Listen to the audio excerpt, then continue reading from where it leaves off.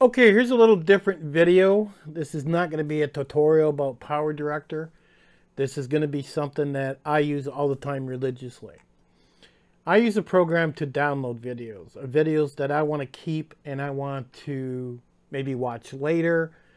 Um, I've noticed some channels, for example, there was this one channel that makes different knots and I do a lot of hiking and I like doing knots and it looks like he hasn't been around in a couple years. It didn't look like his channel took off. I think he's got like 900 subs, but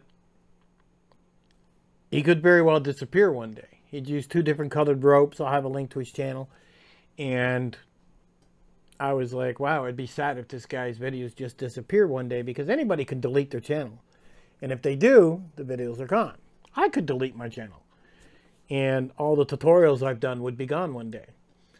Now, there is a program out there that I use religiously. I'll have a link in the bottom. And you can go pick it up. I think it's like 20 bucks right now.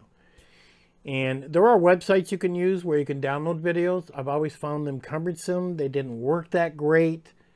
Um, I really just wasn't that impressed with them. This program, I've had it over two years. It's never failed me. It's always worked. I can download entire playlists. You can download just audio and not the video. But a lot of videos I've downloaded entire playlists and put them in folders on my hard drive. And then I put them on CDs in case I ever need that information. Because there is a lot of good information on YouTube that is really good for learning. And I don't want to lose it. And I don't one day want to go there and say, oh, now the guy's gone.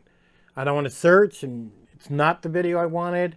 I literally have a library of videos that I really like. And if I ever need them, I can pull them up and I can watch them. I'll have a link in the bottom to it you can go pick it up. I think it's like 20 bucks for the next four days. And uh, I don't think you'll regret buying it. I think it's an extra $10 for more than one computer or something like that. But it pretty much does anything you can imagine. If you have a YouTube channel, and a lot of you guys do, you might want to pick it up because you can back up your videos. If you haven't even considered that, you could load your playlist, copy that URL into this program, and this program will literally download every one of your videos. So now you're going to have a complete backup of your videos.